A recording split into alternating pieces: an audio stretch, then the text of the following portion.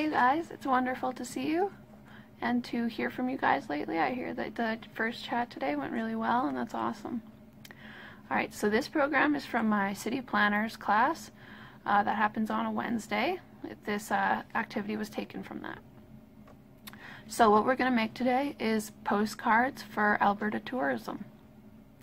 Now I don't know if there's anybody better to do this task than you guys because I know you've been all over Alberta and ex have experienced the wonderful tourist attractions that there are. So I don't know who would be better for this task than you guys. Need a pencil, a Sharpie if you have one, some scrap paper, some nice paper, um, a pair of scissors, and an eraser, and a sharpener I guess. Alright, so your first step is I need you to make a couple illustrations from your head or from another resource like the internet if you want to look up your tourist attraction. I need you to make a couple illustrations about it because it's going to be on the front of our postcard. So make a couple different illustrations and decide which one you like best. Alright, so I'll only show you one picture, but this is a drawing I did of the National Music Center, the um, my choice that I made to make my postcard card about. So that's the drawing I did for it. Second thing I need you guys to do is to think about what font you're going to do your title in. And the title is, of course, the name of the place of the tourist attraction. So to learn a little bit about font today, so we make the perfect font for our tourist attraction, um, I'll give you what the defini definition is. A font is a combination of typeface and other qualities such as size, pitch, and spacing. So first, size the size of your chosen font. So maybe you're writing like this big or like this little, okay? And then pitch. Pitch is like the size of the different letters and different widths. So maybe you have a W that's like this, or maybe you have a W that's like this. So it's just the size of the letter that you're doing and the width of it too. And the last one is spacing. So the spacing between the words. So maybe you have like a, to spell my name, it'd be J, whoa, huge space, A, huge space, N, huge space, E, huge space. All right? So that's a little bit about font, but this is when you guys can get a little creative. So let's say you're doing uh, Banff National Park. Maybe you'd make a mountains a big part of your typeface. And that just comes down to how creatively you can incorporate that. Here's an example of my titles I made for the National Music Center, of course, with the theme being music. Here we are.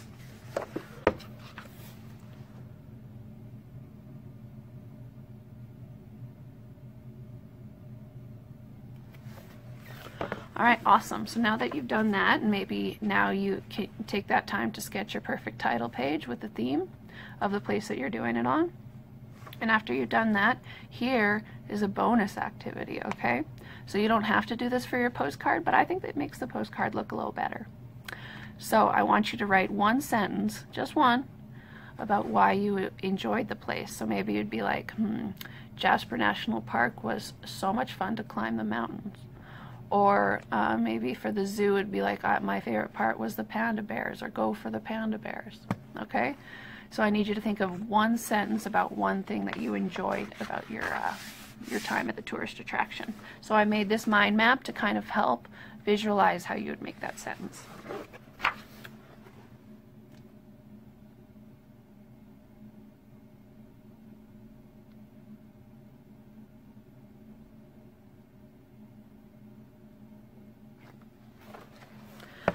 Alright, so once you've done the sentence, I want you to try to do it in your typeface that you did for your title page. See how well that works, and if it doesn't work, you can just do the sentence in like a little bit smaller writing, however you'd like on your postcard.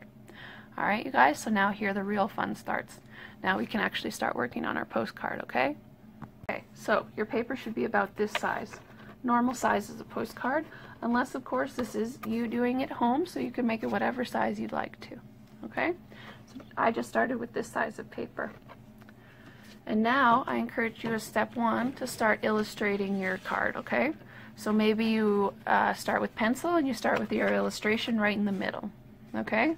That's what I did.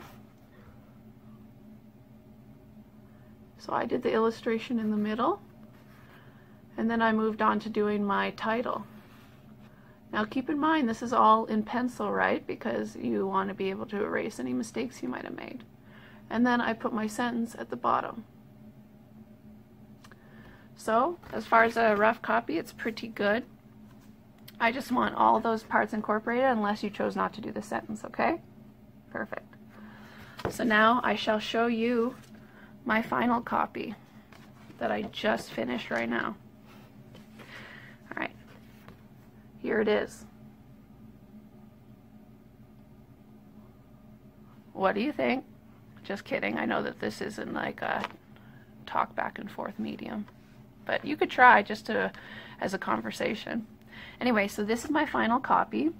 It has the National Music Center all right here. As you can see, I took some creative liberties with it.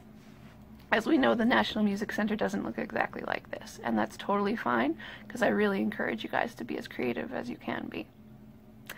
So for my uh, font, I chose to do the National Music Center, but with a bunch of music notes in the inside, and then just a nice cursive throughout. And then my sense is, of course, where music rocks. Um, and then that's it. There's my final postcard. Try to make it as colorful as you want, take as much time as you need on it. And then on the back, I wrote just like a nice note to my aunt, who I will send it to, and I'm going to include a stamp. And uh, just I just said, wish you were here. I learned so much at the Music, National Music Center.